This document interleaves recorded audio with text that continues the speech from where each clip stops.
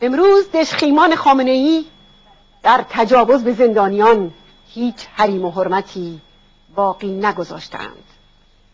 خدایا از دیو سیرتی این رژیم لعنت شده نسبت به دختران و پسرانمان به تو پناه می‌بریم ای پناه بی پناهان خدایا به حرمت فرقهای شکافته مجاهدین به حرمت چشمهای باز ندا و نداها در لحظه شهادت و پیکر شرح شرحی کیانوش و کیانوش ها در زیر شکنجه.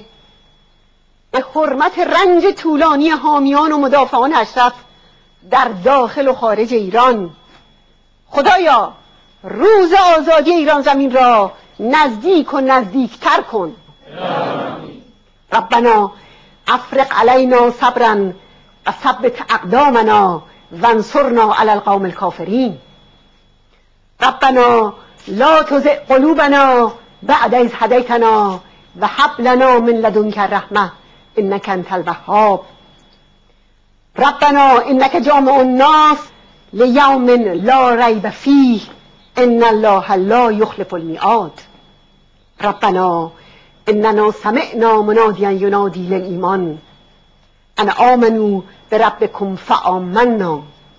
ربنا علیک توکلنا و الیک انبنا و الیک المسیر ربنا اتمم لنا نورنا واغفر لنا انک علی کل شیء قدیر.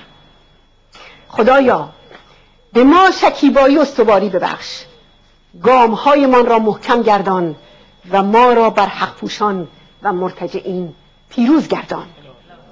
خدایا به تو توکل می‌کنیم و به تو باز میگردیم و قایت سرنوشتمان به سوی توست.